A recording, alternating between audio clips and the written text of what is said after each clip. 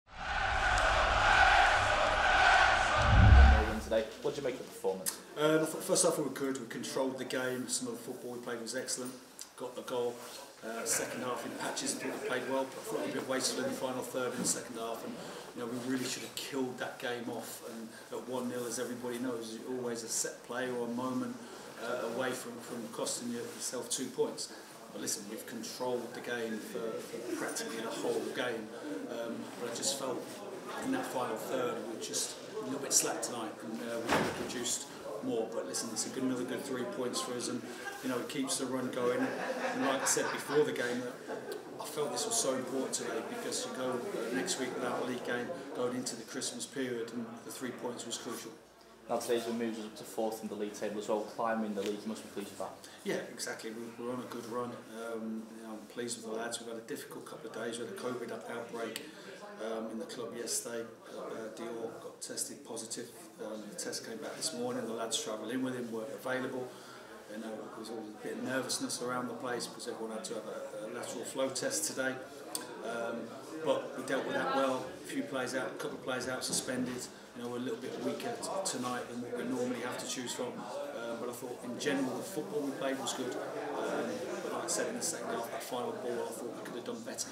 Just to step away from today's game, you mentioned the COVID outbreak there. How is it from a manager's perspective on a match day when you get that sort of news, and how does it affect preparations for yourself and the team? Yeah, it's uh, it's, it's a nervous kind of time because Dior got had symptoms yesterday. His lateral flow test was positive. He then um, as this test, which came out today, Dave Jones and Dev who travel in with him, then were available.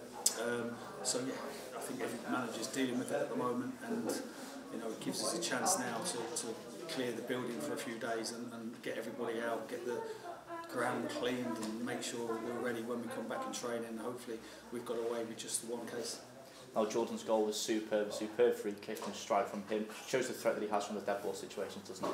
Yeah, Jordan, you know, he's dangerous. Uh, free kicks, set plays, in around the box, and I thought our set play delivery first half was disappointing tonight too. When he went into the keeper's hands, and, and we need to look at that because um, it has been very good of late, and we've got a lot of goals on those situations. But yeah, Jordan's you know he's a good player. You know he's he loves playing for the club, and um,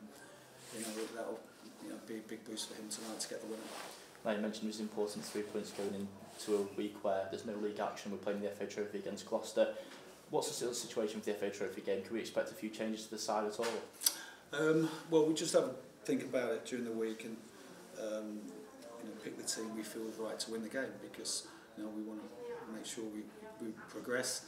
You know, it is a nice little breather from the league, uh, but equally, you know, we'll be taking the game seriously and you know, we'll be picking a team we can feel can, can progress in the competition. Nice one, cheers, Phil. Thank you.